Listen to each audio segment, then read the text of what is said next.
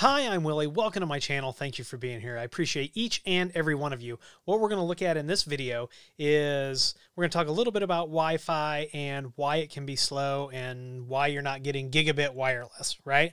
So, um, you know, I get this a lot. You know, my Wi-Fi is slow. Why is my Wi-Fi slow? Well, Wi-Fi design is a lot of physics and a little bit art. So before we can diagnose why your Wi-Fi is slow, uh, let's talk about what Wi-Fi is and what Wi-Fi isn't. First of all, Wi-Fi isn't magic. As much as it seems like it is, it really is radio waves moving through the air. So we have to deal with everything that can impede that movement. The other thing that you have to remember is that Wi Fi is a half duplex communication. You also need to remember that the numbers that you see on the packages or the data transfer rates that you see on marketing materials aren't speeds that your Wi Fi client will see. It's an overall aggregate, and that number usually isn't accurate. Can someone do a YouTube video where a single client gets gigabit wireless? Sure, they can, but once you design a system and you have more than one client on it, good luck getting those speeds consistently.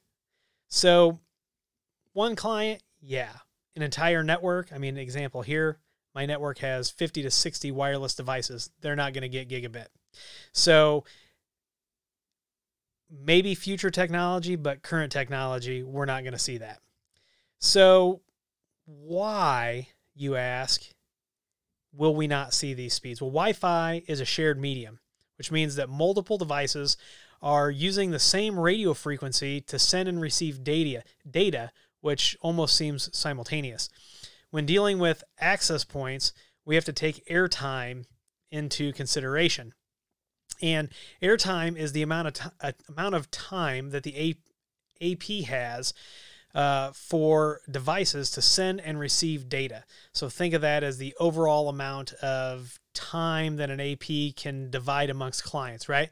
So airtime itself can become a bottleneck if not configured correctly because devices are competing and trying to access the medium and can sometimes hog the medium, right? So certain devices may take up more airtime than others, which can lead to congestion and slower speeds for everyone on the Wi Fi network.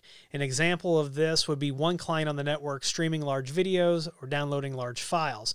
This can take up a lot of airtime, making it harder for other devices to get access to the medium.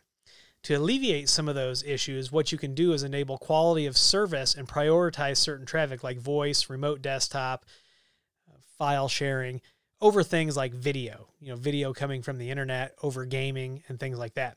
You can also enable airtime fairness. What airtime fairness does is it tells the access point to divide up the airtime equally among the clients. When you do this, it will put a hard limit on the number of devices that can connect to that access point. Or if you enable it on all access points, it will limit how many devices, clients, can connect to your Wi Fi network.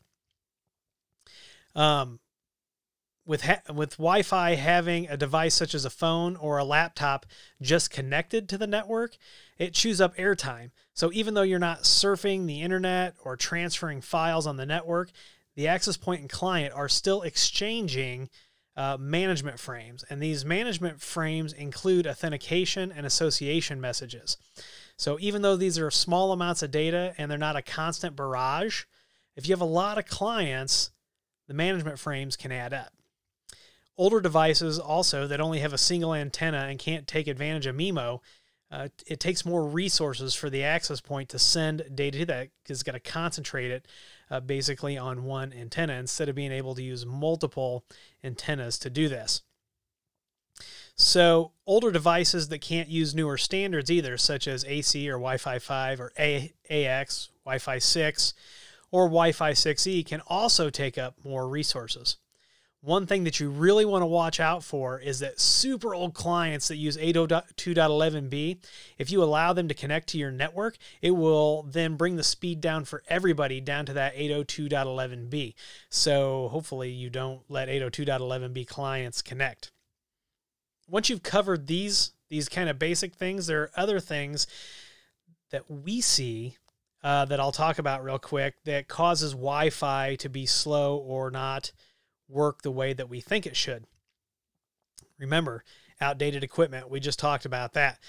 These other reasons are probably in our top five that we see uh, that cause poor performance. So, designers that are using, and I'm talking about Wi Fi network designers, that are using long range access points to boost the signal is another thing that we see trouble with.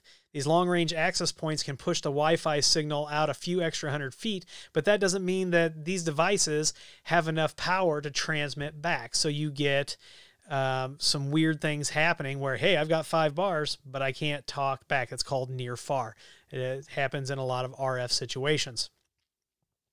We also uh, see interference of all types from people using 40 megahertz, don't do this, 2.4 gigahertz channels, to people in their neighborhoods running all access points on the same channels.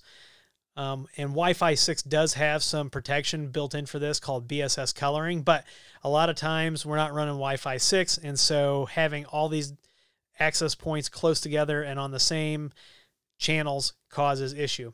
Other devices like cordless phones, baby monitors, microwave, microwaves, or anything else that communicates or emits EM, uh, electromagnetic electromagnetic interference at 2.4 or 5 gigahertz can cause issues.